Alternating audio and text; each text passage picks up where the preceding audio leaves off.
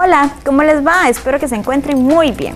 Hemos estado conversando acerca de los batidos y las ventajas, ¿recuerdan? Bueno, pues hoy vamos a terminar el tema y vamos a hablar un poquito de las desventajas de los batidos. ¿Ok? ¿Por qué?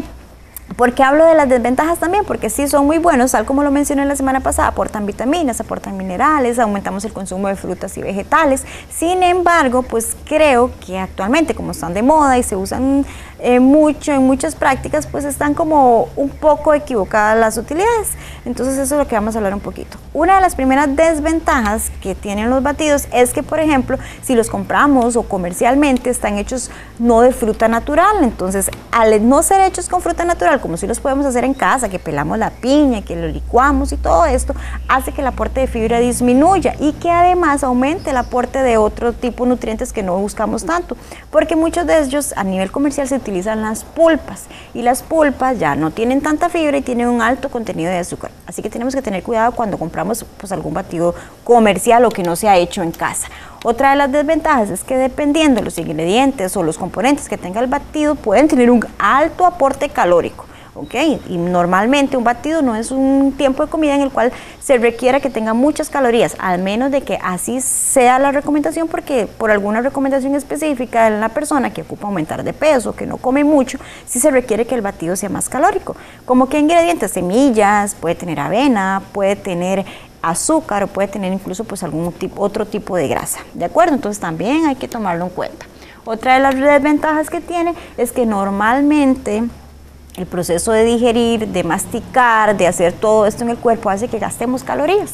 Y resulta que todo ese proceso lo hace la licuadora, de tal manera que al nosotros tomar el batido, pues eso se absorbe las calorías rápidamente sin que el cuerpo trabaje mucho. Entonces eso hace también que pues en algún momento si lo que queremos es bajar de peso, pues tomar el batido no es la mejor recomendación. La mejor recomendación va a ser siempre el consumo de la fruta y del alimento de manera natural, para tomarlo en cuenta también.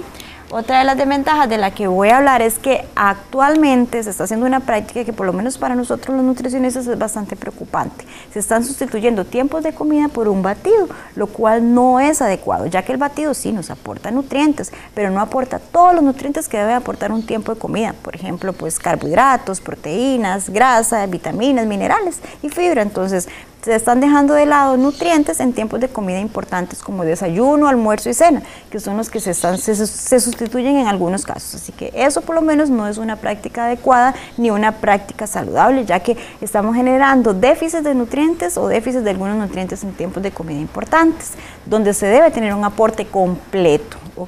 Y finalmente la última desventaja de la cual voy a hablar es que ningún batido o ninguna dieta diaria de batidos va a sustituir la importancia o va a sustituir los beneficios de una alimentación saludable y balanceada. Debemos de tomarlo en cuenta. Entonces los podemos utilizar como un extra, como para variar, como un, em, elemento para un tipo de merienda, sin embargo, nunca, nunca van a sustituir una alimentación balanceada. Eso es para que lo tomemos en cuenta y recuerden que no, no siempre lo que se vende o lo que dicen que es fácil es lo que funciona.